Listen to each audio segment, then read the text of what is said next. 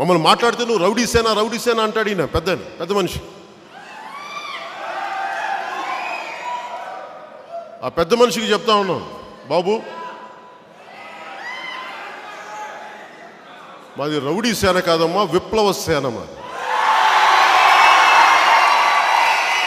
Rowdyism చేసే వాళ్ళకి గుండాయిజం చేసే వాళ్ళకి ఎదురు తిరిగితే మీకు ఎలా ఉంటుందో తెలియదు కదా మీకు. తెలియదు కానీ మీకు అనిపిస్తుంది మాకు రౌడీలా అనిపిస్తున్నాం మీకు. ఒకవేళ మీలాంటి దౌర్జన్యాలు చేసే వాళ్ళకి మేము రౌడీలా కనిపిస్తాం నాకు ఓకే.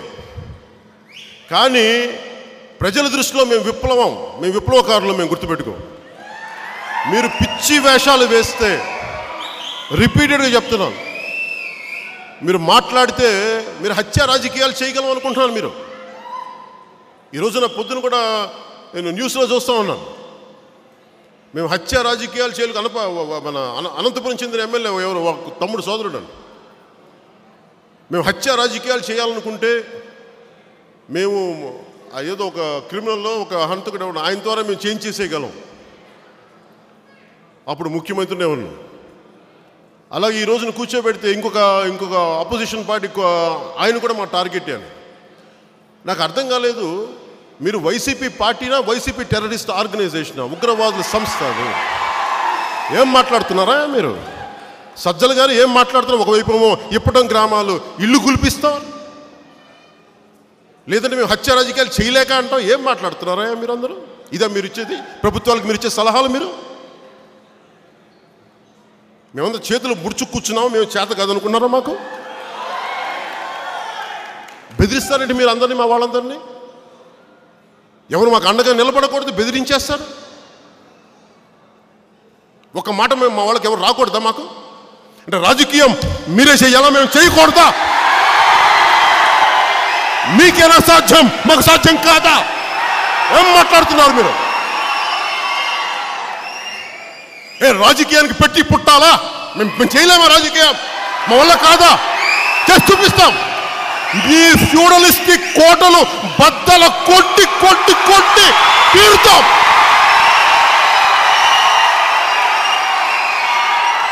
ఏం మాట్లాడతారు ఒక్కొక్కళ్ళు? మీ తాటాపుకి చప్పులకి మేము బెదిరాం బెదరాం మేము.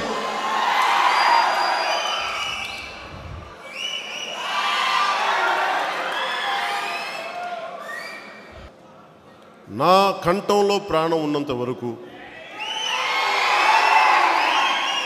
నా కంఠంలో ప్రాణం ఉన్నంత వరకు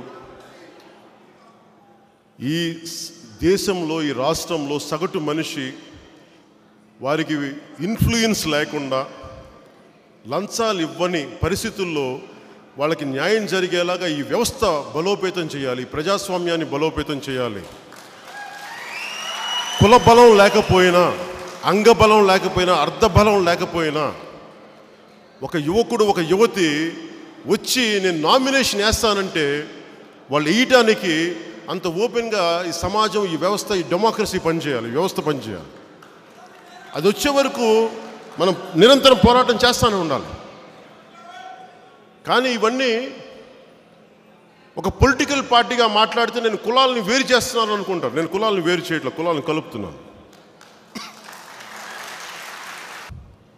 వైసీపీ నాయకుడు నన్నంటే వైసీపీ నాయకుడు కులవంత నన్ను అన్నట్టు కాదు. వైసీపీ నాయకుడే అన్నట్టు అంతే. నేను కులాన్ని అంత ద్వేష ఎప్పుడు ద్వేషించను కులాన్ని. నేను ఎప్పుడు మాట్లాడినా నన్ను తిట్టించేది నేను పుట్టిన కులం ద్వారా తిట్టిస్తారు. ఆ కులంలో పుట్టిన నాయకుల ద్వారా తిట్టిస్తారు. అసలు మనం ఆలోచించాల్సింది నిజంగా నేనే తప్పైతే నీకు లోపల ఎలాంటి వికృతమైన ఆలోచనే లేకపోతే నా కులం చేత నువ్వు నన్ను ఎందుకు తిట్టిస్తావు? బ్రిటిష్ వాడు వెళ్ళిపోయాడు.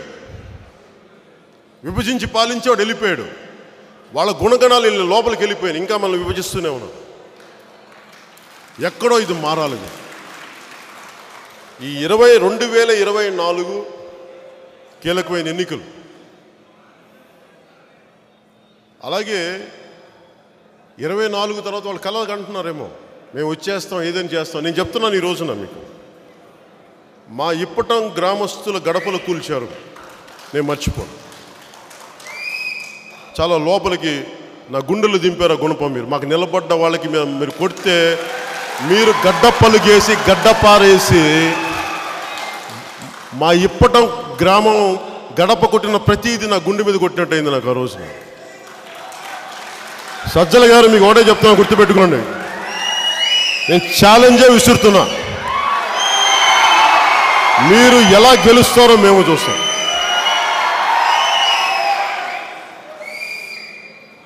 అలాగే నేను మీలాగా ఢిల్లీకి వెళ్ళి చాడీలు చెప్పను. నా ప్రధానమంత్రి గారిని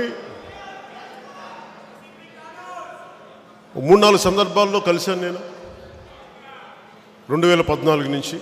మన నాలుగో సందర్భం కలవటం. వారితో నేను ఎప్పుడు మాట్లాడిన ఎందుకు ఈ మాట మాట్లాడుతున్నాను? సజ్జన్ గారు అడుగుతూ ఉన్నారు ఏం మాట్లాడారు? ఏం మాట్లాడారు? నీకు ఎందుకయ్యా? చెప్తావు నీకు? ఆ పెద్ద మనిషికి ఎందుకు అంత ఉత్సుకత? మీకు ఎందుకు కావాలి మీకు? మేము ఏం కావాలా? రండి నా దగ్గరికి రండి చెప్తాను. మీ చెవులో చెప్తాను నేను ఏం చెప్తాను. చెప్తాను.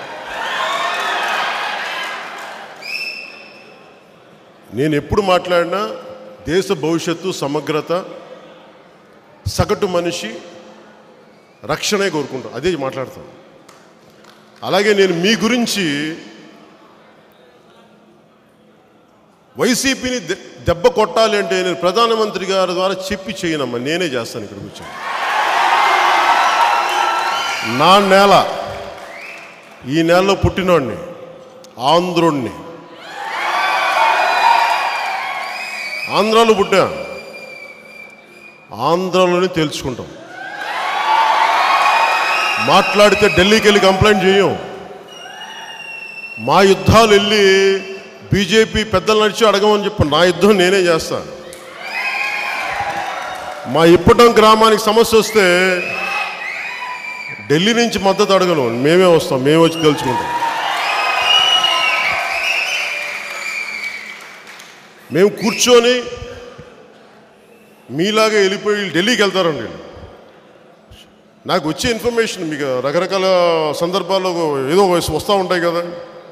మీ గురించి తెగ చాడీలు చెప్పేస్తారు సార్ ఇక్కడ ముఖ్యమంత్రి వచ్చానంటారు అరే ఒక అధికారం లేనోడిని గొంతేసుకొని అలవటం తప్ప నా చేతులు అధికారం లేదు పోలీసులు నా మాట నన్నే ఇప్పడం గ్రామానికి వస్తుంటే ఆపేస్తారు పోలీసులు. వాళ్ళతో గొడవ పెట్టుకొని ముందుకు రావాలి. నా మీద పడి ఏడుస్తారంటే వైసీపీ నూట యాభై ఒక్క మంది ఎమ్మెల్యేలు వాళ్ళకి. ముప్పై మంది ఎంపీలు.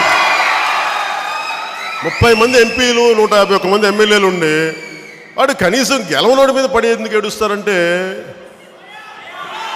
మనం అర్థం చేసుకోవాల్సింది సత్తా. సత్తా కానీ తాకత్ అండం. అది అధికారంలో కాదు. గుండెల్లో ఉండవు.